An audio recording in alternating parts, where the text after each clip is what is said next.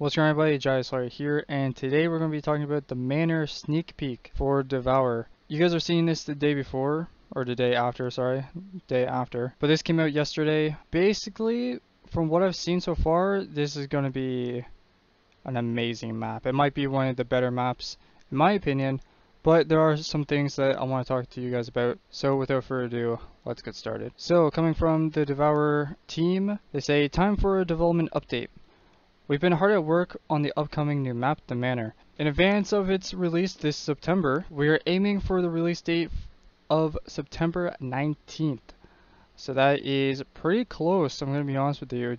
September 19th is is 7 weeks from now, from Thursday, depending on when you're watching this video. They say internal playtesting has begun. We're already excited by how it's all coming together. We know it's been a longer wait this time, so thanks for sticking with us.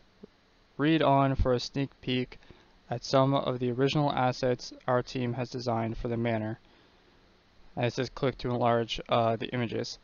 So, the reason you guys aren't seeing the entire Steam thing is I want to say real quick, I guess this would be spoilers. Uh, for those of you that don't want to spoil yourself with the map, you just want to go in completely blind, which I wanted to do originally, but I want to go over some things before it comes out because I want to get a little, little bit of knowledge. So spoiler warning is gone. Uh, but again, if you don't want to be spoiled, click off the video. First up, we have the Cursed Heads. A quick heads up. Sorry, we couldn't resist. On our newest ritual object, as terrifying as these ghoulish heads are, they won't be chasing you. You might have to chase them, however.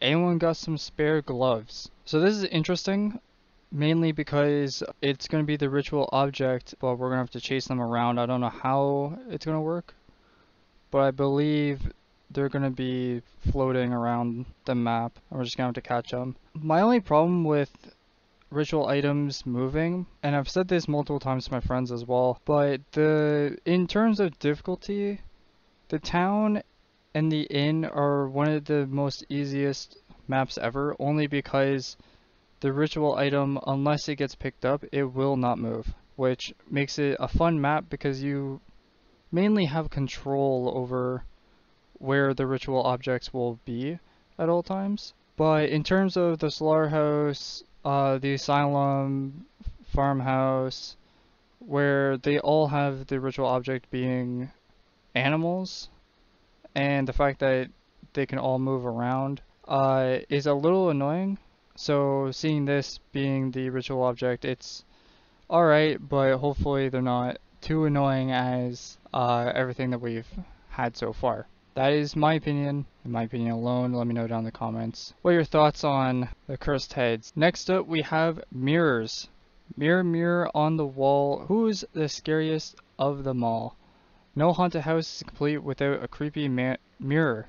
I almost said manor. There are multiple mirrors around the map, and we worked hard to make them reflective, meaning you'll see yourself in them other players, and even April. The mirrors are part of an important mechanic never seen before in a Devour map. The ability to travel between two playable realms. We can't wait for you to find out more when the manor releases. So this is very, very interesting because whenever they released the teaser, we saw April uh, in the mirror. So I'm going to assume that's what they mean, but also being able to travel between the two playable realms.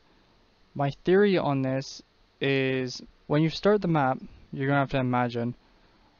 When we start the map, it's going to be this rundown manor. There will be uh, this rundown wedding that used to be there. Then when you go through the mirror, you come out and it's all like this beautiful building. Everything's fixed up. There's no cobwebs anywhere. Then you go back and you see it's all run down that's my thoughts on how this is going to work with uh, them saying it's a two playable realms. This could totally not be it, but let me know down in the comments what you guys think on the mirror. Next up we have font. The font was designed in a classic Victorian style as was much of the map. We'll be visiting it frequently in the manor Any guesses why? Uh, my thoughts, it's gonna be how we defeat April. It's like the ritual area, like how we had the the pig grinder, like the electric chair and all that.